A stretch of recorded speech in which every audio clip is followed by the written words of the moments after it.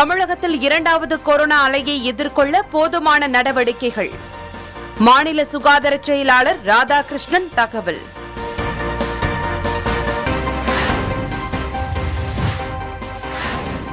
தமிழகத்திற்கு கூடுதலாக இருபது லட்சம் கொரோனா தடுப்பூசிகளை வழங்க வேண்டும். மத்திய அரசுக்கு மாநில அரசு அவசர கடிதம்.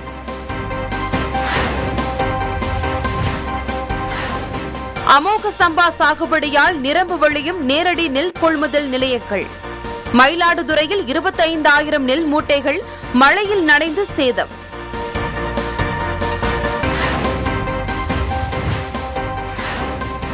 மங்களூர் கடல் பகுதியில் சரக்கு கப்பல் மோதி விபத்துக்குள்ளான விசைப்படகு. காணாமல் போன ஆறு தமிழக மீனவர்களை கண்டுபிடித்து தர கோரிக்கை.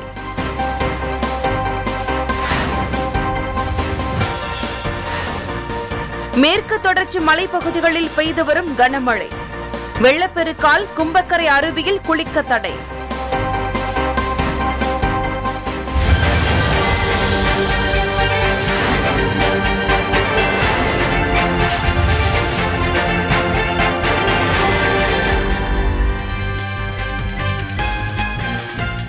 உத்தரப்பிரதேச மாநிலத்தில் அதிகரித்து வரும் கொரோனா பரவலை தடுக்கும் வகையில் பத்து மாவட்டங்களில் நாளை முதல் இரவு நேர ஊரடங்கு அமல்படுத்தப்படுகிறது.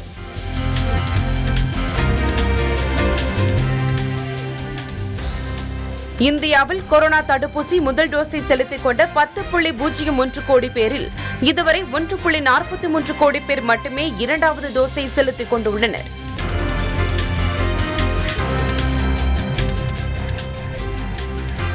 கன்னியாகுமரி தொடங்கி காசிமேடு வரை தமிழகத்தின் கிழக்கு கடலோர பகுதிகளில் இன்று முதல் அறுபத்தி ஒன்று நாட்களுக்கு மீன்பிடி தடைக்காலம் தொடங்கியது.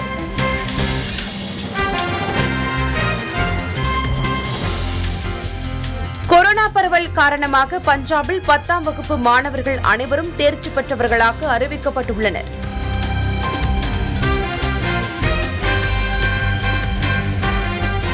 ஹரித்வாரில் ஐந்து நாள் நடைபெற்ற கும்பமேளாவில் ஆயிரத்து எழுநூறு பேருக்கு கொரோனா தொற்று கண்டுபிடிக்கப்பட்டுள்ளது.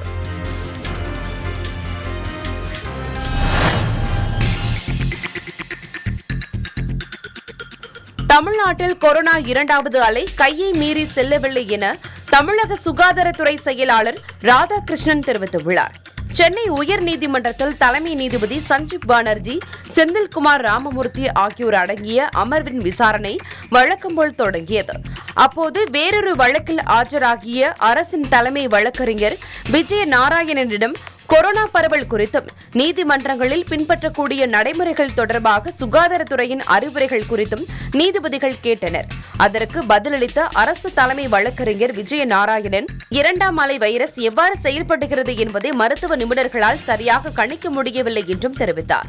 உயர்நீதிமன்ற தலைமை நீதிபதி சஞ்சீப் பானர்ஜியுடன் ஆலோசனை நடத்திய பிறகு செய்தியாளர்களிடம் பேசிய சுகாதாரத்துறை செயலாளர் ராதாகிருஷ்ணன் சென்னையில் கொரோனா பாதிக்கப்பட்டவர்களுக்கு சிகிச்சை அளிக்க பத்தொன்பதாயிரத்து நானூற்று இருபத்தி இரண்டு படுக்கைகளும் மாநில அளவில் எண்பத்தி மூன்றாயிரத்து முன்னூற்று எழுபத்தி ஆறு படுக்கைகளும் தயார் நிலையில் உள்ளதாகவும் ராதாகிருஷ்ணன் கூறினார். வந்து இப்போ சென்னையை பொறுத்த வரைக்கும் ஒவ்வொரு என்னென்ன செல் நம்பர்ஸ் அப்படின்னு போட்டு அதை ரெடி பண்ணியிருக்கோம். சென்னையை பொறுத்த வரைக்கும் நம்ம ஏற்கனவே பத்தொம்போதாயிரத்தி நானூற்றி இருபத்தி ரெண்டு படுக்கை பண்ணியிருக்கோம். அது மட்டும் இல்லாமல் நாள் நாள்தோறும் அந்த படுக்கை வசதி இன்க்ரீஸ் பண்ணுறோம் அத்திப்பேட்டிலேயே அஞ்சாயிரத்துக்கு மேலே இருக்குது பட் கம்யூனிகேஷன் கேப் அதே மாதிரி மாநில அளவில் நம்ம ரிவைஸ்டு இந்த ரிப்போர்ட்டில் பார்த்தீங்கன்னா எண்பத்தி மூணாயிரத்தி முந்நூற்றி பதினாறு படுக்கைகள் தயார் பண்ணியிருக்கோம்.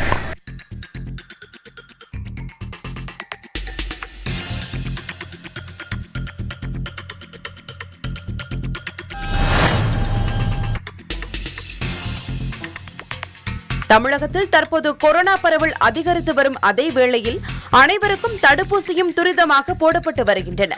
நாற்பத்தைந்து வயதுக்கு மேற்பட்ட அனைவருக்கும் முதல் தவணை தடுப்பூசி முழுவதுமாக செலுத்த நடவடிக்கைகள் எடுக்கப்பட்டுள்ளன. தடுப்பூசி திருவிழா என்ற பெயரில் கடந்த மூன்று நாட்களில் இருபது லட்சத்துக்கு மேற்பட்டோருக்கு தடுப்பூசிகள் செலுத்தப்பட்டுள்ள நிலையில் தமிழக அரசு மத்திய அரசுக்கு அவசர கடிதம் ஒன்றை எழுதியுள்ளது. தற்போது நாற்பத்தைந்து வயது மேற்பட்டோருக்கு தடுப்பூசி போடப்பட்டு வருவதால் கூடுதலாக தடுப்பூசி தேவை என்றும் கூடுதலாக பதினைந்து லட்சம் கோவிஷீல்டு தடுப்பூசியும் ஐந்து லட்சம் கோவாக்சின் தடுப்பூசியும் விரைந்து வழங்க வேண்டும் என்றும் அக்கடிதத்தில் குறிப்பிடப்பட்டுள்ளது.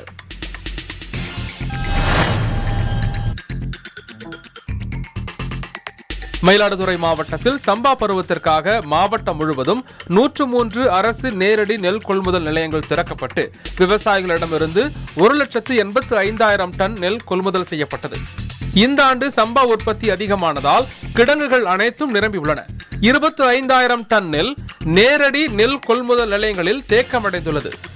கடந்த இரண்டு நாட்களாக பெய்து வரும் கோடை மழையால் மயிலாடுதுறையில் வில்லியநல்லூர் மல்லியம் முளப்பாக்கம் மங்கைநல்லூர் பெருஞ்சேரி உள்ளிட்ட பகுதிகளில் திறந்த வெளியில் அடுக்கி வைக்கப்பட்டிருந்த பல்லாயிரம் நெல் மூட்டைகள் மழையில் நனைந்து சேதமடைந்துள்ளன.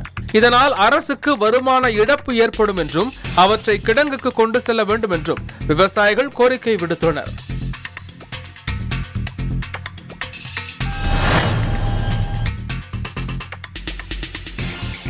கேரள மாநிலம் கோழிக்கோடு மாவட்டம் வேப்பூர் பகுதியிலிருந்து மீன்பிடி விசைப்படகில் கடந்த பதினோராம் தேதி தமிழகத்தைச் சேர்ந்த மீனவர்கள் உட்பட பதினான்கு பேர் மீன்பிடிக்கச் சென்றனர். கடந்த செவ்வாய்க்கிழமை கர்நாடக மாநிலம் மங்களூர் அருகே ஆழ்கடல் பகுதியில் அவர்கள் மீன்பிடித்துக் கொண்டிருந்த போது அவ்வழியாக வந்த வெளிநாட்டு சரக்கு கப்பல் மோதியதில் விசைப்படகு கடலில் மூழ்கியது. இந்த விபத்தில் தமிழகத்தைச் சேர்ந்த ஒரு மீனவர் உட்பட இரண்டு பேரை விபத்து ஏற்படுத்திய கப்பல் ஊழியர்கள் மீட்டனர். கன்னியாகுமரியைச் சேர்ந்த அலெக்சாண்டர் மற்றும் தாசன் உட்பட மூன்று மீனவர்கள் உயிரிழந்த நிலையில் அவர்களின் உடல்கள் மீட்கப்பட்டன. இந்த நிலையில் தூத்துக்குடி மாவட்டம் மணப்பாடு மீனவ கிராமத்தைச் சேர்ந்த டென்சன் உள்ளிட்ட ஒன்பது மீனவர்கள் காணாமல் போன நிலையில் அவர்களை தேடும் பணியில் இந்திய கடலோர காவல்படை ஈடுபட்டுள்ளது. காணாமல் போன டென்சன் உள்ளிட்டவர்களை மீட்க தமிழக அரசு உரிய நடவடிக்கை எடுக்க வேண்டும் என வலியுறுத்தி டென்சனின் மனைவி ராணி உள்ளிட்ட மீனவ கிராமத்தைச் சேர்ந்தவர்கள் தூத்துக்குடி மாவட்ட ஆட்சியரிடம் மனு அளித்தனர். இந்நிலையில் கன்னியாகுமரி மாவட்ட மீனவர்கள் அலெக்சாண்டர் மற்றும் தாசன் இருவரின் உடல் சொந்த ஊரில் அடக்கம் செய்யப்பட்டன.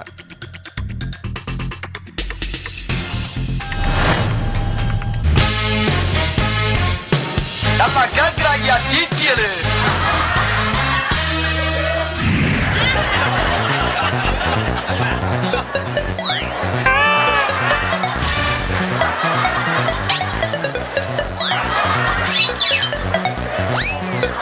இந்தியாவில் சுகருங்க சுகருங்களா சுகர் ப்ரொடியூஸ் பண்ணுறதா ஆமாம் சுகரு யோசிச்சு சொல்லணுமா?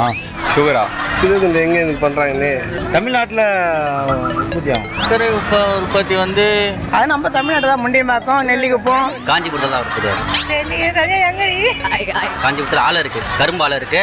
ஆமாம் ஆமாம் கரும்பு கரும்பு தோட்டம் ரொம்ப இருக்கு. அங்கேருந்து சர்க்கரை உற்பத்தி பண்ணி அங்கேருந்து சப்ளை ஆகுது. எனக்கு தெரியாதுப்பா. வேற ஏதாவது நீங்க கம்மனா கேட்டீங்கன்னா கூட சரி தெரியுது சொல்லலாம். நல்ல ஸ்டேட்டு ப்ரோ அது. நல்ல ஸ்டேட்டு எந்த ஸ்டேட்டு தருமபுரி.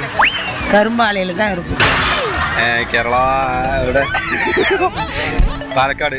ஏதோ முண்டியம்பாக்கம் ஆலை நெல்லிக்குப்பம் ஆலை. நம்மளுக்கு வாங்குறாங்க கடையில் அது வர அரியலூர் ஆலை. இங்கே தான் கரும்பு சக்கரை உற்பத்தி ஆகுறாங்க அதான் தெரியாது மேடம் தான். அவங்க ஹாஸ்பிட்டல்ல வேலை செய்றாங்க. அவங்க வேலை கேளுங்க. தெரிஞ்சுதான் சொல்லணும். தெரியாத எப்படி சொல்ல முடியும் நம்ம எனக்கு தெரிஞ்ச வானகரத்தில் பண்ணுறாங்க அது பிரிட்ஜு தாண்டினோடனே செக் போஸ்ட் கிட்ட. ஆந்திரா இல்லை மகாராஷ்டிரா? நம்ம ஏசியாவில் கம்போடியாவில் பண்ணுறாங்க கரும்புல இருந்து மட்டும் சக்கரை எடுக்கும் அது மட்டும் தெரியும்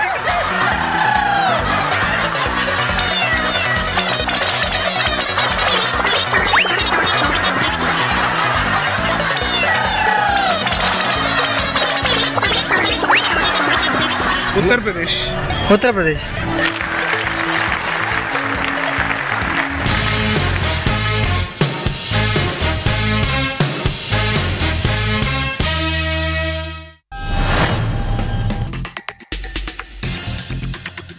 நாமக்கல் நகராட்சி பகுதியில் துப்புரவு பணியாளர்கள் எவ்வித பாதுகாப்பு உபகரணங்களும் இன்றி கழிவுநீர் வாய்க்காலில் இறங்கி சுத்தம் செய்யும் அவல நிலை தொடர்ந்து வருவதாக சமூக ஆர்வலர்கள் குற்றம் சாட்டியுள்ளனர்.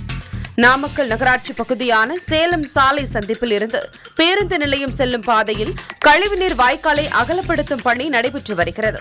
அப்பகுதியில் உள்ள கழிவுநீர் வாய்க்காலில் அதிகளவு கழிவுநீர் தேங்கியதால் பணிகள் செய்ய முடியாத நிலை ஏற்பட்டது. இதனையடுத்து நகராட்சி பெண் பணியாளர்கள் உட்பட நான்கு பேர் எவ்வித பாதுகாப்பு கவச உடைகளும் இன்றி சாக்கடையில் இறங்கி அங்கிருந்த கழிவுகளை மண்வெட்டியால் அள்ளி அகற்றும் பணியில் ஈடுபட்டு வருகின்றனர்.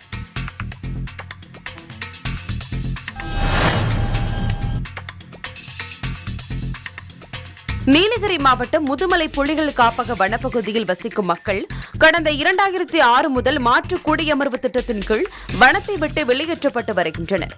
அவ்வாறு வெளியேறுபவர்களுக்கு அவர்கள் வைத்திருக்கும் நிலத்திற்கு நிலம் மற்றும் கோல்டன் ஹேண்ட்ஷேக் திட்டத்தின் கீழ் பத்து லட்சம் ரூபாய் இழப்பீடு வழங்கப்பட்டு வருகிறது. இந்நிலையில் பத்து லட்சம் இழப்பீட்டுத் தொகையை உயர்த்த வேண்டும் என வனப்பகுதி மக்கள் அரசிற்கு கோரிக்கை வைத்து வந்தனர். அவர்களது கோரிக்கை ஏற்கப்பட்டு பத்து லட்சம் இழப்பீட்டுத் தொகையை பதினைந்து லட்சமாக உயர்த்தி அறி அறிவிப்பு வெளியிடப்பட்டுள்ளது.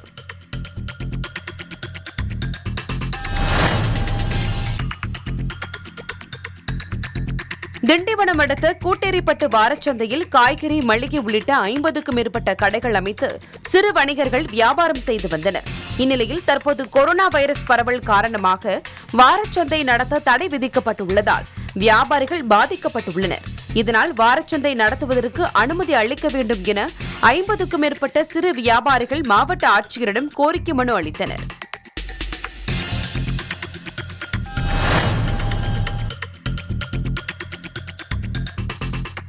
தமிழ்நாடு அரசு தோட்டக்கலைத்துறை கீழ் இந்திய இஸ்ரேல் கூட்டு ஒப்பந்தத்தின் அடிப்படையில் காய்கறி மகத்துவ மையம் திண்டுக்கல் அருகே ரெட்டியார் சத்திரம் பகுதியில் இயங்கி வருகிறது. விவசாயிகள் பயன்பெறும் வகையில் பசுமை குடில் நில உலர்வை குடில் திறந்தவெளி சாகுபடி போன்றவை குறித்து இந்த மையத்தில் பயிற்சி அளிக்கப்பட்டு வருகிறது. அந்த வகையில் சரபோவா கத்திரிக்காய் அறிமுகம் செய்யப்பட்டு அறுவடை செய்யப்பட்டு வருகிறது. இந்த வகை கத்திரிக்காய் சாகுபடி செய்ய ஏக்கர் ஒன்றிற்கு ஐம்பதாயிரம் ரூபாய் வரை செலவாகும் என தெரிவிக்கும் அதிகாரிகள் ஒரு சரபோ சரபோவா கத்திரிக்காய் நானூறு கிராம் எடை கொண்டதாக மெகா சைஸில் இருக்கும் எனவும் தெரிவிக்கின்றனர்.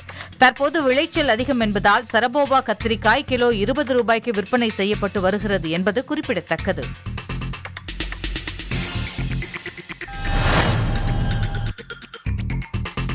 தேனி மாவட்டம் பெரியகுளம் அருகே உள்ள கும்பக்கரை அருவியில் கடந்த இரண்டு நாட்களாக மேற்கு தொடர்ச்சி மலை மற்றும் கொடைக்கானல் மலைப்பகுதியில் மாலை மற்றும் இரவு நேரங்களில் பெய்த கனமழையால் அருவிக்கு நீர்வரத்து அதிகரித்து வெள்ளப்பெருக்கு ஏற்பட்டுள்ளது.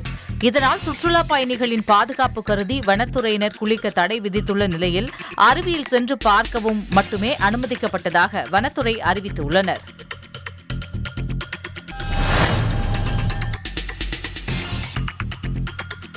விழுப்புரம் மாவட்டம் திருவெண்ணை நல்லூரைச் சேர்ந்த ஏழுமலை என்பவருக்கும் பாவந்தூர் கிராமத்தைச் சேர்ந்த கிருஷ்ணமூர்த்தி என்பவருக்கும் இடையே முன்விரோதம் இருந்துள்ளது. கடந்த ஆறாம் தேதி இவர்களுக்கு இடையே ஏற்பட்ட தகராறில் ஏழுமலையை கிருஷ்ணமூர்த்தி கடுமையாக தாக்கி கொலை செய்து விடுவதாக மிரட்டியதாக கூறப்படுகிறது. இதுகுறித்து புகார் அளித்தும் இதுவரை எந்த நடவடிக்கையும் எடுக்கப்படவில்லை என கூறப்படுகிறது. இந்நிலையில் மனைவி கை குழந்தையுடன் விழுப்புரம் மாவட்ட காவல் கண்காணிப்பாளர் அலுவலகத்திற்கு சென்று ஏழுமலை திடீரென தரையில் அமர்ந்து போராட்டத்தில் ஈடுபட்டார். இதை கண்ட போலீசார் அவர்களை தடுத்து நிறுத்தி மாவட்ட காவல் கண்காணிப்பாளரிடம் உரிய மனு அளிக்க அறிவுறுத்தினர். கை குழந்தையுடன் பெண் தரையில் அமர்ந்து தர்ணாவில் ஈடுபட்ட சம்பவம் அந்த பகுதியில் பெரும் பரபரப்பை ஏற்படுத்தியுள்ளது.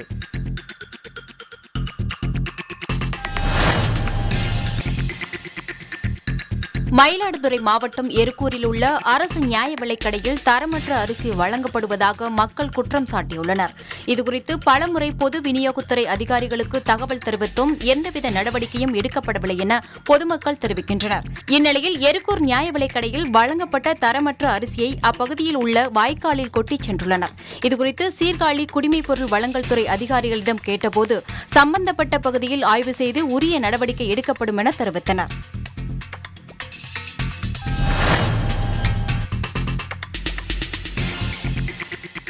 காஞ்சிபுரம் மாவட்டத்தில் கொரோனா நோய் தொற்றின் இரண்டாவது அலை வேகமாக பரவ தொடங்கியிருப்பதை அடுத்து காஞ்சிபுரம் நகரின் லிங்கப்பன் தெரு பாண்டவ பெருமாள் தெரு சேக்குப்பேட்டை சாலையர் தெரு உள்ளிட்ட தெருக்களில் மீண்டும் முன்னெச்சரிக்கை நடவடிக்கையாக தடுப்புகள் அமைக்கப்பட்டுள்ளது. நகராட்சி சார்பில் முகக்கவசம் அணியாதவர்களுக்கு அபராதம் வசூலிக்கும் பணிகள் தீவிரப்படுத்தப்பட்டுள்ளன. நான்கு தனியார் மருத்துவக் கல்லூரி மையங்கள் ஒரு கல்லூரி விடுதி மற்றும் ஒரகடத்தில் அரசு தங்கும் விடுதி உள்பட மொத்தம் ஆறு இடங்களில் ஆயிரத்து எழுநூற்று எண்பது பேர் ஒரே நேரத்தில் தங்கி சிகிச்சை பெறும் வகையில் படுக்கைகள் தயார் நிலையில் வைக்கப்பட்டுள்ளன. பொதுமக்கள் தேவையின்றி வீட்டை விட்டு வெளியில் வர வேண்டாம் என ஆட்சியர் மகேஸ்வரி ரவிக்குமார் கேட்டுக் கொண்டார்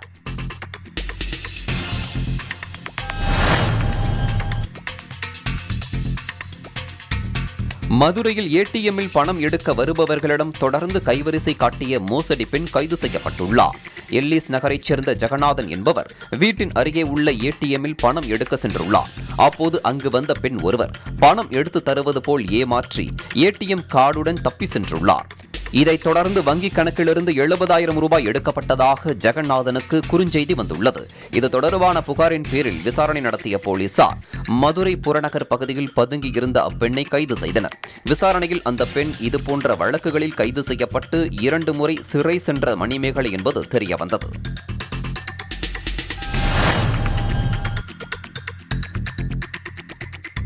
போடி நாயக்கனூர் சட்டமன்ற தொகுதி வாக்குப்பதிவில் புலரப்படி இருப்பதாக திமுக வேட்பாளர் தங்க தமிழ்ச்செல்வன் புகார் அளித்துள்ளார். இன்று மாவட்ட தேர்தல் அலுவலர் கிருஷ்ணன் உன்னியை சந்தித்து மனு ஒன்றை அளித்தார். அதில் மூன்று வாக்குப்பதிவு மையங்களில் பதிவான வாக்குகளுக்கும் தேர்தல் ஆணையத்தால் வழங்கப்பட்ட பதினேழு சி படிவத்தில் குறிப்பிடப்பட்டுள்ள வாக்குப்பதிவிற்கும் வித்தியாசம் இருப்பதாக அதில் தெரிவிக்கப்பட்டுள்ளது. இதில் வேறுபாடு இருப்பது உறுதி செய்யப்பட்டால் சம்பந்தப்பட்ட மூன்று வாக்குப்பதிவு மையங்களில் மறு வாக்குப்பதிவு நடத்த வேண்டும் என தெரிவித்தார்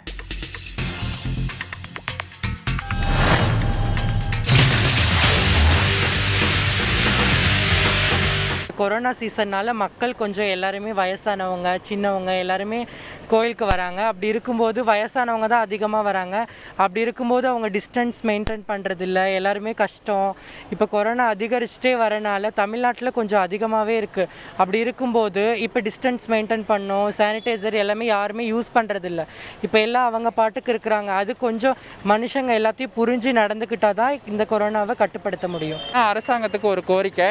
ஏன்னா எடுத்த உடனே கொரோனா வருதுங்கிறதுக்காக லாக்டவுன்கிற ஒரு முறை தான் கையாளுறாங்க. இந்த லாக்டவுன் மட்டும் முழுமையான தீர்வு கிடையாது. ஒவ்வொரு மக்களுக்கும் ஒரு ஹெல்த்தியான ஃபுட்டு போய் சேரணும்.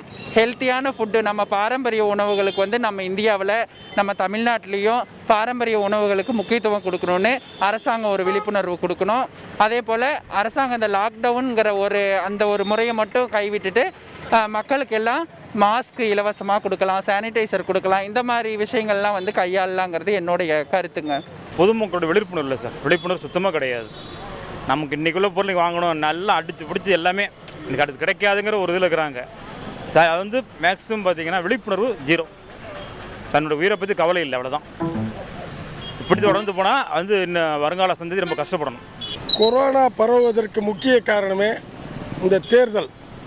இந்த தேர்தலின் காரணமாக கூட்டம் கூட்டமாக அந்தந்த கட்சியினர் அந்தந்த தலைவர்களுடைய கூட்டத்திற்கு சென்று லட்சக்கணக்கான மக்கள் கூடி அதே நேரம் மாஸ்க் அணியாதது காரணத்தாலும் அந்த கொரோனா வராமல் தடுப்பு விதிகளை கடைபிடிக்காத காரணத்தாலும் கூட்டம் நெருக்கமாக ஒருவருக்கொருவர் இடைவெளி இல்லாத காரண சமூக இடைவெளி இல்லாத காரணத்தாலும் அதன் காரணமாக அதிகமாக ஒரு நாளைக்கு ஒன்றரை லட்சம் என்ற அளவுக்கு போனது. இதற்கு முழுக்க முழுக்க காரணம் தேர்தல். தேர்தலுக்கு காரணமாக வந்த அரசாங்கம். நல்ல ஆன்மீகத்தில் இருந்தாக்கா எந்த நோயும் வராது. நம்ம வந்து எண்ணங்கள் தான் ரொம்ப பாதிப்பு. அந்த எண்ணங்களுக்கு தகுந்த மாதிரியே நமக்கு எல்லா நோய்களும் வரும் ஆத்மா சக்தி கிடையாது. உடல் சக்தி தான் இருக்குது சாப்பிட்றோம். சாப்பிட்றதுக்கு உடல் சக்தி இருக்குது ஆத்மா சக்தி நம்ம எதுவுமே கொடுக்கறதில்ல. அது தியானத்தில் தான் இருக்கணும். எல்லாமே சரியாக போயிடும். கொரோனாவே வராதுங்க.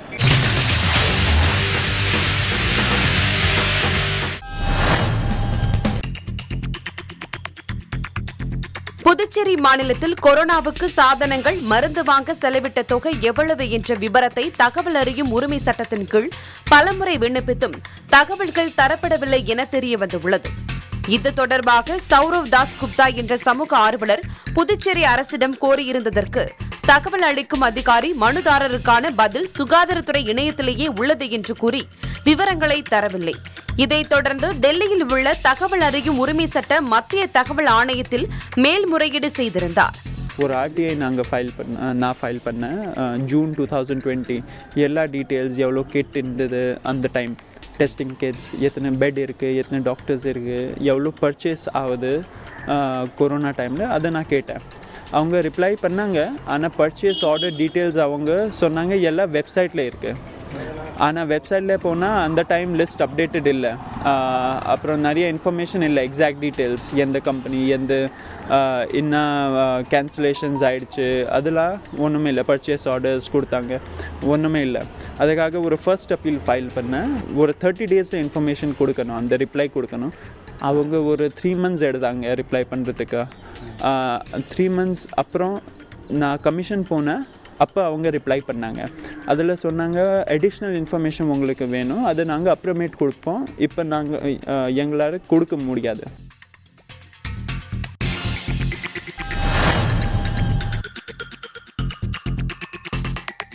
மதுரை தமிழ்நாடு தொழில் வர்த்தக சங்கம் மற்றும் மாநகராட்சி சார்பில் கொரோனா தடுப்பூசி திருவிழா தொடங்கியது.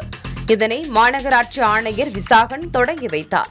தடுப்பூசி விழாவில் 45 வயதிற்கு மேற்பட்டோருக்கும் சுகாதார பணியாளர்கள் போக்குவரத்து ஊழியர்கள் உள்ளிட்ட முன்கள பணியாளர்கள் பொதுமக்கள் அதிக அளவில் கலந்து கொண்டு தடுப்பூசி செலுத்திக் கொண்டனர். முகாமிற்கு வருகை தரும் பொதுமக்களுக்கு காய்ச்சல் பரிசோதனை செய்யப்பட்டு பின்னர் கைகளில் கிருமி நாசினி தெளிக்கப்பட்ட பின்னரே அனுமதிக்கப்பட்டனர்.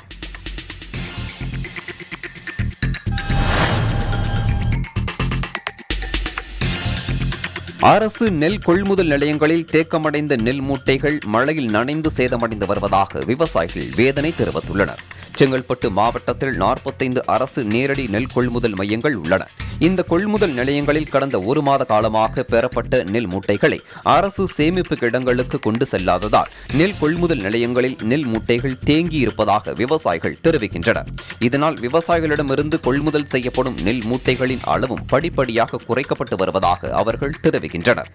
செங்கல்பட்டு மாவட்டத்தில் பரவலாக மழை பெய்ததால் கொள்முதல் நிலையங்களில் அடுக்கி வைக்கப்பட்டிருந்த சுமார் இருபதாயிரத்திற்கும் மேற்பட்ட நெல் மூட்டைகள் நனைந்ததாக விவசாயிகள் தெரிவிக்கின்றனர். இன்னும் கொள்முதல் செய்யப்படாமல் இருக்கும் மூட்டைகளை வைக்க இடம் இல்லாத காரணத்தால் அவை மழையில் நனைந்து வருவதாக விவசாயிகள் வேதனை தெரிவிக்கின்றனர். இதுகுறித்து மண்டல மேலாளரிடம் கேட்டதற்கு தற்போது திறந்த வெளியில் கிடங்கு அமைப்பதற்கு இடம் தேர்வு செய்துள்ளதாகவும் நனைந்த நெல் மூட்டைகளை உடனடியாக அரிசி ஆலைக்கு லாரி மூலம் எடுத்து செல்லும் பணி நடைபெற்று வருவதாகவும் தெரிவித்தார்.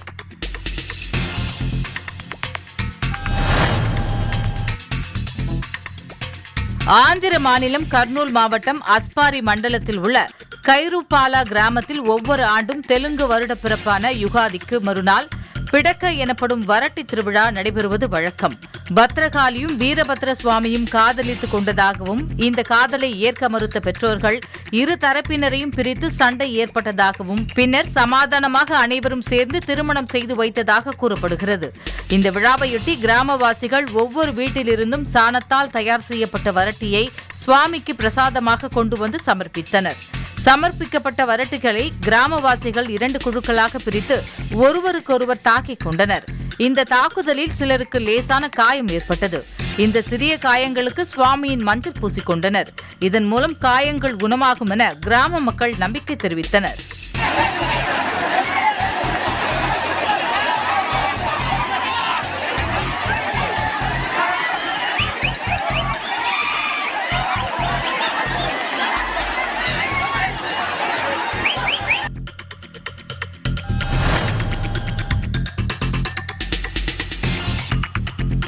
மாவட்டம் ஜோலார்பேட்டை அடுத்த ஏலகிரி மலை மஞ்சக்கொள்ளை புதூர் கிராமத்தில் திமுக பொதுச் செயலாளர் துரைமுருகனுக்கு சொந்தமான கெஸ்ட் ஹவுஸ் உள்ளது. கடந்த மூன்று நாட்களுக்கு முன்பு கெஸ்ட் ஹவுஸ் பூட்டை உடைத்து திருட்டு முயற்சி நடைபெற்றது. ஆனால் அங்கு எதுவும் கிடைக்காததால் சிசிடிவி கேமரா மற்றும் ஹார்ட் டிஸ்கை திருடி சென்றுள்ளனர். இந்த சம்பவம் பெரும் பரபரப்பை ஏற்படுத்தியுள்ளது. அங்கு பணம் நகை இல்லாததால் ஏமாற்றமடைந்த கொள்ளையர்கள் அங்கிருந்த டிவியை உடைத்துள்ளனர். பின்னர் அங்கிருந்த விலை உயர்ந்த மதுபானத்தை அங்கேயே அமர்ந்து குடித்துவிட்டு லிப்ஸ்டிக்கால் ஒரு நூறு ரூபாய் வைக்க மாட்ட எனவும் சுவற்றில் எழுதியுள்ளனர். தொடர்ந்து அங்கிருந்த நோட்டு புத்தகத்தில் ஒரு ரூபாய் கூட இல்ல எடுக்கல எனவும் எழுதி சென்றுள்ளனர். இந்த சம்பவம் குறித்து போலீசார் விசாரணை நடத்தி வருகின்றனர்.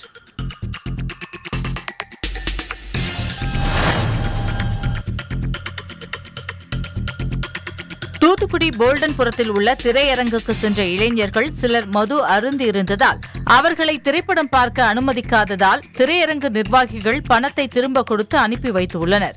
கோபமடைந்த அவர்கள் தங்கள் இருசக்கர வாகனத்தில் இருந்த பெட்ரோலை பாட்டில்களில் பிடித்து திரையரங்கு வளாகத்தில் வீசிவிட்டு தப்பியோடினர் இதுகுறித்த புகாரின் பேரில் தென்பாகம் போலீசார் மிக்கேல் அந்தோனி அரவிந்த் அந்தோனி ராஜ் மருதநாயகம் சுகுமார் ஆகியோரை கைது செய்து விசாரணை மேற்கொண்டு வருகின்றனர்.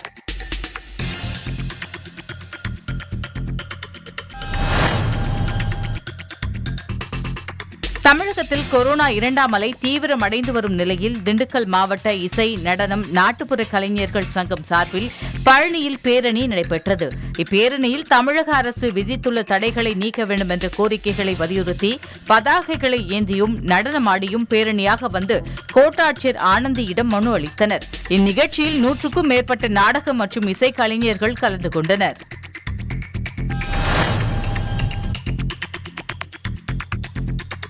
மதுரை மேலமாசி வீதி பகுதியில் செயல்பட்டு வரும் பேங்க் ஆஃப் பரோடா வங்கி கிளை மின்கசிவின் காரணமாக திடீர் தீ விபத்து ஏற்பட்டுள்ளது. வங்கியிலிருந்து புகை வருவதை கண்ட அக்கம் பக்கத்தினர் தீயணைப்புத் துறையினருக்கு தகவல் அளித்ததைத் தொடர்ந்து சம்பவ இடத்திற்கு விரைந்து வந்த தல்லாக்குளம் பெரியார் நிலையம் தீயணைப்புத் துறையினர் கொழுந்துவிட்டு எரிந்த தீயை பல மணி நேர போராட்டத்திற்கு பிறகு அணைத்தனர். விபத்தில் ஆவணங்கள் மற்றும் கணினி மின்விசிறி உள்ளிட்ட பொருட்கள் எரிந்து சேதமடைந்து உள்ளதாகவும் தெரிவிக்கப்பட்டுள்ளது.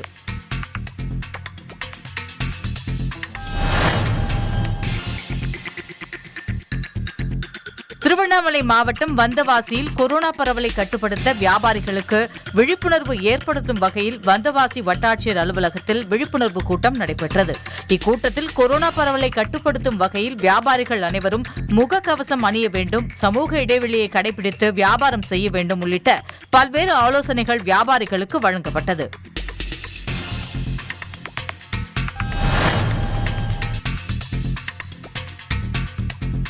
மதுரையில் கலை நிகழ்ச்சிகளுக்கு அனுமதி வழங்க கோரி மதுரையில் நாட்டுப்புற கலையை நடத்தியபடி பேரணியாக வந்து ஆட்சியரிடம் நாட்டுப்புற கலைஞர்கள் மனு அளித்தனர்.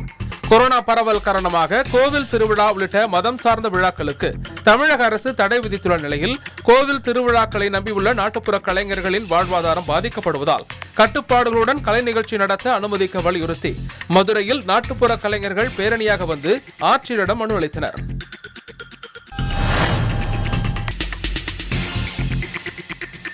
கிருஷ்ணகிரியில் கெயில் நிறுவனத்தின் எரிக்காற்று குழாய் சாலை ஓரத்தில் கொண்டு செல்லாமல் விவசாய நிலங்கள் வழியாக கொண்டு செல்வதாகவும் இதனால் தங்களுக்கு பாதிப்பு ஏற்படுவதாகவும் விவசாயிகள் தெரிவிக்கின்றனர். விளை நிலங்களில் பதிக்கும் குழாய்க்கு இடது வலது புறத்தில் சுமார் பத்து மீட்டர் தொலைவில் நிலத்தை பயன்படுத்தக்கூடாது என்றும் மேலும் அந்த குழாய்க்கு பழுது ஏற்பட்டால் அதற்கு முழு பொறுப்பும் விவசாயிகள் தான் எனவும் கெயில் நிறுவனம் கூறுவதாக விவசாயிகள் குற்றம் சாட்டுகின்றனர். இதனால் அண்டை மாநிலங்களான கர்நாடகா கேரளா உள்ளிட்ட மாநிலங்களில் சாலை ஓரத்தில் கொண்டு செல்வது போல் இங்கேயும் இத்திட்டத்தை சாலை ஓரத்தில் கொண்டு செல்ல வேண்டுமென வலியுறுத்தி ஆட்சியர் அலுவலகம் முன் விவசாயிகள் போராட்டத்தில் ஈடுபட்டனர்.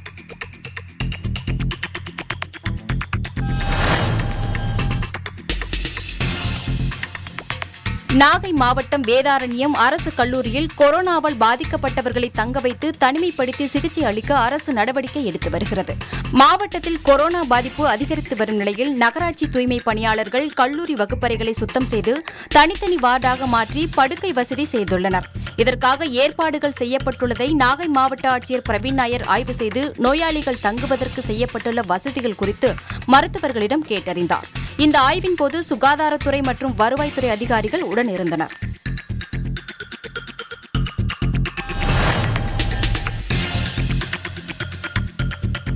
தமிழகத்தில் கொரோனா பரவல் வேகமெடுத்துள்ள நிலையில் பல்வேறு கட்டுப்பாடுகள் விதிக்கப்பட்டுள்ளன.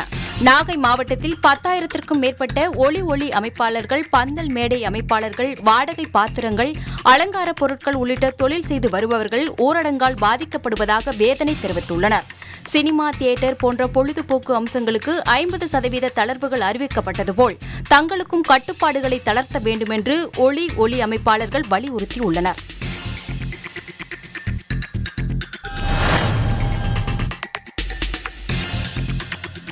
தேனி பெரியகுளம் ஊராட்சி ஒன்றிய அலுவலகத்தை முற்றுகையிட்டு அரசு ஒப்பந்தக்காரர்கள் போராட்டம் நடத்தினர். மகாத்மா காந்தி ஊரக வேலைவாய்ப்பு திட்டத்தின் அரசு ஒப்பந்தக்காரர்கள் கிராமப்புறங்களில் தடுப்பு சுவர்கள் ஃபேவர் பிளாக் கல்பதிப்பது சாக்கடை நீர் வடிகால் வாய்க்கால் அமைப்பது உள்ளிட்ட பணிகள் கடந்த ஒன்பது மாதங்களுக்கு முன்பாக முடிவடைந்தது.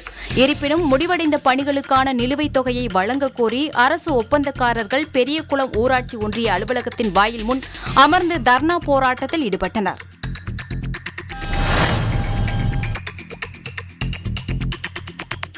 தேனி மாவட்டம் போடிமெட்டு மற்றும் முந்தல் சோதனை சாவடிகளில் வருவாய்த்துறையினர் சுகாதாரத்துறையினர் மற்றும் காவல்துறையினர் தீவிர வாகன சோதனையில் ஈடுபட்டுள்ளனர்.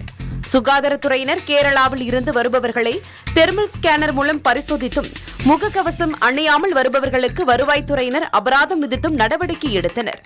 மேலும் கேரளாவிலிருந்து தமிழகத்திற்குள் வரும் அனைத்து வாகனங்களையும் இ பாஸ் இருந்தால் மட்டுமே தமிழகத்திற்குள் அனுமதிக்கின்றனர்.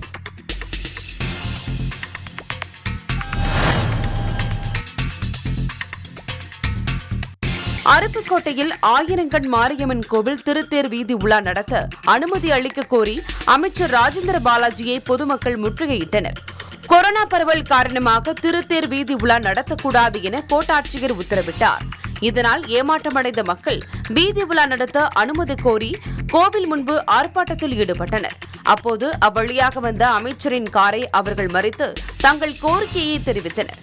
இதையடுத்து அமைச்சர் அதிகாரிகளிடம் தொலைபேசியில் பேசினார். தொடர்ந்து உரிய நடவடிக்கை எடுக்கப்படும் என உறுதியளித்து அங்கிருந்து புறப்பட்டு சென்றார்.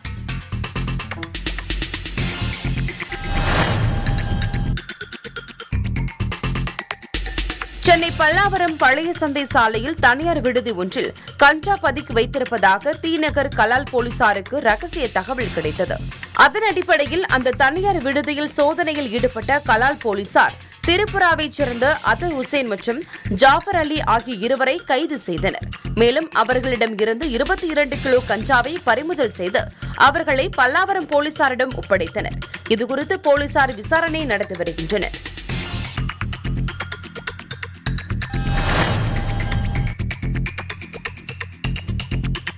ஈரோடு நசையனூர் சாலையில் சம்பத் நகர் பகுதியில் செயல்பட்டு வரும் தனியார் வங்கி முகப்பில் காணப்படும் ஏடிஎம் அறையில் ஐந்து அடி நீலப்பாம்பு புகுந்ததால் வாடிக்கையாளர்கள் அலறி அடித்துக் கொண்டு ஓட்டம் பிடித்தனர். புதன்கிழமை மாலை வழக்கம் போல பணம் எடுக்க வாடிக்கையாளர்கள் வந்தபோது சுமார் ஐந்து அடி நீளமுள்ள பாம்பு ஏடிஎம் மையத்திற்குள் செல்வதை பார்த்து ஏடிஎம் அறையிலிருந்து அலறி அடித்து வெளியேறினர். இதையடுத்து பாம்பு பிடிக்கும் வீரர் யுவராஜா நேரில் வந்து பாம்பை பிடிக்கும் முயற்சியில் ஈடுபட்டார். எனினும் இதுவரை பாம்பு சிக்காததால் வாடிக்கையாளர்கள் ஏடிஎம் அறைக்குள் நுழைய தடை விதிக்கப்பட்டுள்ளது.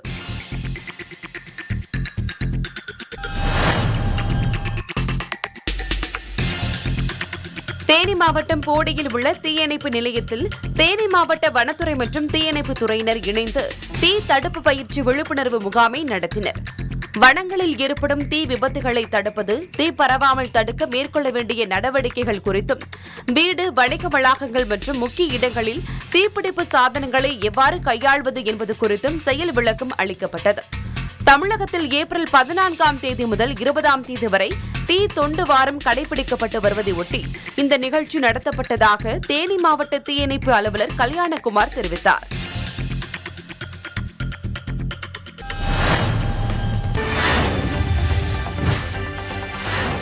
நாகை மாவட்டம் வேதாரண்யம் கரியாப்பட்டினம் வடமலை மணக்காடு தாணிக்கோட்டகம் வண்டுவாஞ்சேரி துளசாப்பட்டினம் மற்றும் சுற்றுவட்டார பகுதிகளில் சாரல் மழை பெய்தது. இந்த மழையால் வெப்பம் தணிந்து குளிர்ந்த காற்று வீசியது. கடந்த இரண்டு மாதங்களுக்கு மேலாக வறண்டிருந்த நிலையில் எள் மா முந்திரி சவுக்கு போன்ற சாகுபடிக்கு ஏற்றதாக இந்த மழை இருந்தது எனவும் இந்த மழையால் பொதுமக்களும் விவசாயிகளும் மகிழ்ச்சி அடைந்துள்ளனர்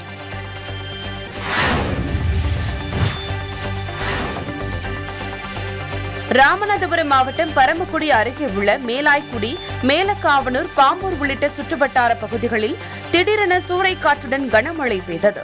கடந்த ஒரு வாரமாக வெயில் சுட்டரித்து வந்த நிலையில் தற்போது பெய்த கனமழையால் வெப்பம் தணிந்து குளிர்ச்சி நிலவியதால் பொதுமக்கள் மகிழ்ச்சி அடைந்தனர் வேலூர் மாவட்டம் குடியாத்தத்தை அடுத்த ஏர்த்தாங்கல் கலர்பாளையம் பகுதியில் பிரேமா என்பவரின் வீட்டருகே வந்த சிறுத்தை ஒன்று அவரை தாக்கியுள்ளது. அவரது அலறல் சப்தம் கேட்டு வந்த அவரது மகன் மற்றும் மகளையும் சிறுத்தை தாக்கியுள்ளது. இதையடுத்து அருகில் இருந்தவர்கள் காயமடைந்தவர்களை மீட்டு மருத்துவமனையில் சேர்த்தனர். இதற்கிடையே சிறுத்தை வீட்டுக்குள் வந்ததால் அருகில் உள்ளவர்கள் கதவை பூட்டி வனத்துறையினருக்கு தகவல் அளித்தனர். இதையடுத்து அங்கு வந்த வனத்துறையினர் சிறுத்தைக்கு மயக்க ஊசி செலுத்தினர். இதையடுத்து சிறுத்தையை வனத்துறையினர் வனப்பகுதிக்குள் விடும் முயற்சியில் ஈடுபட்டுள்ளனர்.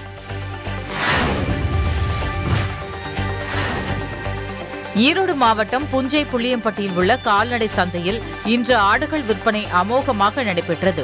புளியம்பட்டியில் உள்ள கால்நடை சந்தையில் வாரந்தோறும் வியாழக்கிழமை ஆடு மாடு உள்ளிட்ட கால்நடைகள் விற்பனைக்கு கொண்டு வருவது வழக்கம். தமிழகத்தில் பொள்ளாச்சிக்கு அடுத்தபடியாக இரண்டாவது பெரிய சந்தையாக விளங்கும் புஞ்சை புளியம்பட்டி கால்நடை சந்தை விளங்குகிறது. ஆட்டுக்குட்டி ரூபாய் மூன்றாயிரம் முதல் ஐந்தாயிரம் வரையிலும் பத்து கிலோ எடை கொண்ட வெள்ளாடுகள் ரூபாய் ஆறாயிரம் முதல் எட்டாயிரம் வரையிலும் செம்மறி ஆடுகள் ரூபாய் ஐந்தாயிரம் முதல் ஏழாயிரம் ரூபாய் வரையிலும் விலை போனது. இதனால் வியாபாரிகளும் விவசாயிகளும் மகிழ்ச்சியடைந்தனர்.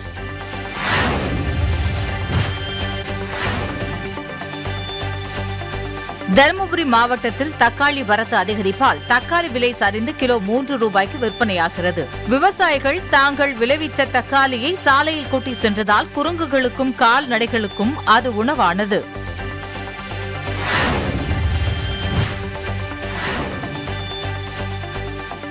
ராமநாதபுரம் மாவட்டத்தில் கடும் வறட்சியால் விவசாயிகள் பெரும் நஷ்டமடைந்து வந்தனர். கடந்த ஆண்டு பருவமழை வழக்கத்திற்கு மாறாக தொடர் மழை அதிக அளவில் பெய்தது. இதையடுத்து கமுதி அருகே பசும்பொன் கிராமத்தில் நீர்நிலைகள் நிரம்பியுள்ளதால் அப்பகுதி விவசாயிகள் மானாவரி பயிராக நெற்பயிரை அதிக அளவில் இரண்டாவது முறையாக விவசாயம் செய்து சாகுபடி செய்துள்ளனர்.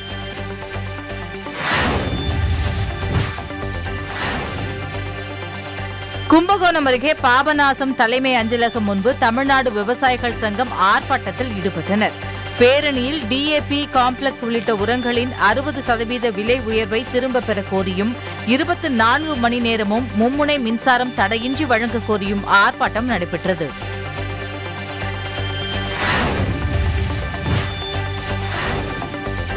செங்கல்பட்டு மாவட்டம் சிங்கப்பெருமாள் கோவில் ஒன்றாவது வார்டுக்கு உட்பட்ட பாவேந்தர் தெரு பாரதிதாசன் தெரு மற்றும் ராஜமாள் தெரு ஆகிய பகுதிகளில் வசிக்கும் மக்கள்.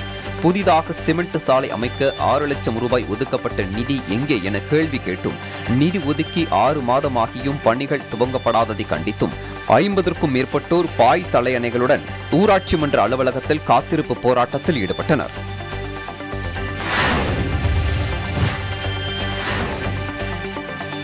திருவண்ணாமலை மாவட்டம் செய்யாறு கோட்டாட்சியர் அலுவலகம் முன் உழவர் பேரவை மற்றும் தமிழக கட்சி சார்பற்ற விவசாயிகள் சங்கம் சார்பில் மழையில் நனையும் நெல் மூட்டைகளை பாதுகாக்கவும் நேரடி நெல் கொள்முதல் மையங்களை கூடுதலாக திறந்து நிரந்தர கட்டிடத்தில் செயல்படவும் உள்ளிட்ட பல்வேறு கோரிக்கைகளை வலியுறுத்தி சேற்றில் புரண்டு நூதன ஆர்ப்பாட்டம் செய்தனர்.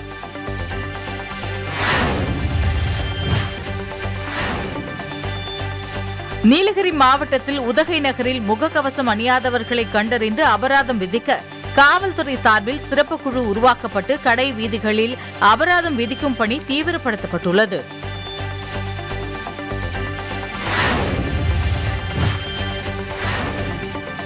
நாகை மாவட்டம் வேதாரண்யம் அருகே கோடியக்காடு கெம்லாஸ்ட் உப்பு தொழிற்சாலை தொழிலாளர்கள் முன்னூறு பேருக்கு சிறப்பு முகாமில் கோவிட் 19 தடுப்பூசி செலுத்தும் பணி நடைபெற்றது.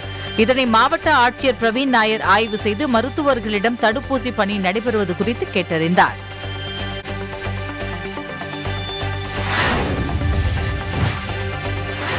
மதுரை மாவட்டம் உசிலம்பட்டி நகராட்சி மற்றும் தொட்டப்ப நாயக்கனூர் அரசு ஆரம்ப சுகாதார நிலையம் இணைந்து உசிலம்பட்டி பேருந்து நிலையத்தில் நடத்தும் கொரோனா தடுப்பு மற்றும் முன்னெச்சரிக்கை கொரோனா தடுப்பூசி செலுத்தும் திருவிழா நடைபெற்று வருகிறது.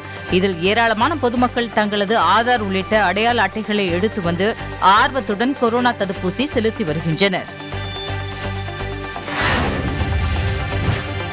சேலம் மாவட்டம் மேட்டூர் வட்டாட்சியர் அலுவலகத்தில் செயல்படும் ஆதார் மையத்திற்கு வரும் பொதுமக்கள் சமூக இடைவெளியின்றியும் முகக்கவசம் அணியாமலும் வருவதால் மீண்டும் கொரோனா வைரஸ் தொற்று பரவும் நிலை ஏற்பட்டுள்ளதாக புகார் எழுந்துள்ளது. அதிகாரிகள் உரிய வழிகாட்டு நெறிமுறைகளை பின்பற்றி மக்களுக்கு பாதுகாப்பு நடவடிக்கைகள் எடுக்க வேண்டும் என்பது அப்பகுதி மக்களின் கோரிக்கையாக உள்ளது.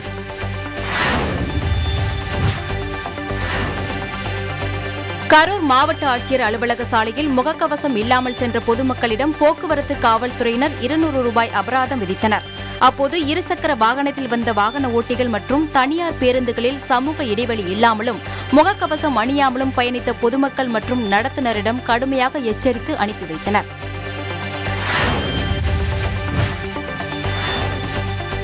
கிருஷ்ணகிரி மாவட்ட நிர்வாகம் சார்பில் முப்பத்தி மூன்று வார்டுகளிலும் நகராட்சி ஆணையாளர் சந்திரா மற்றும் சுகாதார ஆய்வாளர் ஸ்ரீனிவாசலு ஆகியோர் பொதுமக்களுக்கு வாகன ஒலிபெருக்கி மூலம் விழிப்புணர்வு ஏற்படுத்தினர்.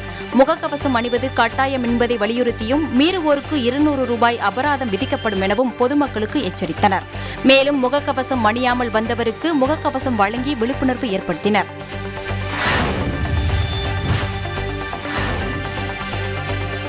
விருத்தாச்சலம் ஜங்ஷன் சாலையில் சமூக இடைவெளியை பின்பற்றாத முகக்கவசம் அணியாத கடை ஊழியர்களுக்கு அபராதம் விதிக்கப்பட்டது.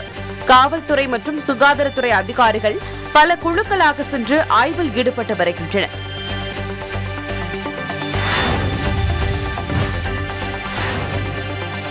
சென்னை நங்கநல்லூர் முப்பத்தி ஏழாவது தெருவில் வசித்து வரும் விவேகானந்தன் நேற்றிரவு வீட்டை பூட்டிவிட்டு தனது குடும்பத்தினருடன் மாடிக்கு சென்றுள்ளார். காலை எழுந்து வந்து பார்த்தபோது வீட்டின் கதவு திறந்திருப்பதைக் கண்டு அதிர்ச்சி அடைந்தார். உடனடியாக வீட்டினுள் சென்று பார்த்தபோது பீரோவில் இருந்த முப்பத்தைந்து சவரன் தங்க நகை மற்றும் வைர நகைகள் திருடு போயிருந்தது. வீட்டின் ஒரு சாவியை காரில் வைத்துவிட்டு சென்றதால் அச்சாவி மூலம் திருட்டு சம்பவம் அரங்கேறியுள்ளது. பழவந்தாங்கல் போலீசார் விசாரணை செய்து வருகின்றனர்.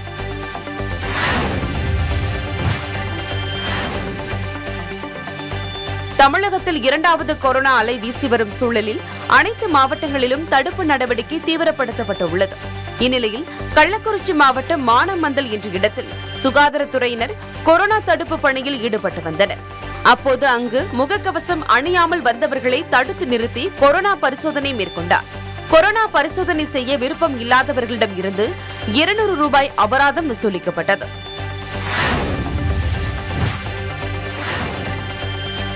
புதுக்கோட்டை அருகே நகராட்சி வீட்டின் பூட்டை உடைத்து தொண்ணூத்தோரு சவரன் தங்க நகை ஒரு கிலோ வெள்ளி கொள்ளையடிக்கப்பட்டுள்ளது. இதுகுறித்து வழக்கு பதிவு செய்த காவல்துறையினர் விசாரணையை துரிதப்படுத்தியுள்ளனர்.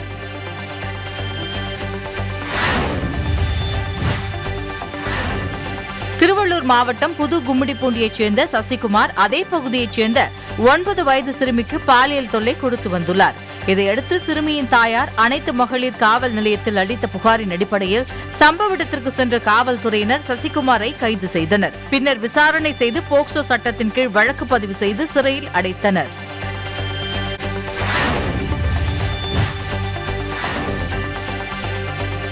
பெரம்பலூர் நீதிமன்றத்தில் பணிபுரிந்து வரும் நீதிபதி நீதிமன்ற ஊழியர் மற்றும் வழக்கறிஞர் என அடுத்தடுத்து எட்டு பேருக்கு கொரோனா தொற்று உறுதியானதை தொடர்ந்து நீதிமன்றத்தில் பொதுமக்களுக்கு அனுமதி மறுக்கப்பட்டு வழக்குகள் அனைத்தும் காணொலி காட்சி மூலமாக விசாரணை நடத்தப்பட்டு வருகிறது. இதைத் தொடர்ந்து நீதிமன்றத்தில் பணிபுரியும் ஊழியர்கள் வழக்கறிஞர்கள் உட்பட அறுபது பேருக்கு கொரோனா பரிசோதனை மேற்கொள்ளப்பட்டு நாற்பத்தைந்து வயதுக்கு மேற்பட்டவர்களுக்கு தடுப்பூசி போடப்பட்டது.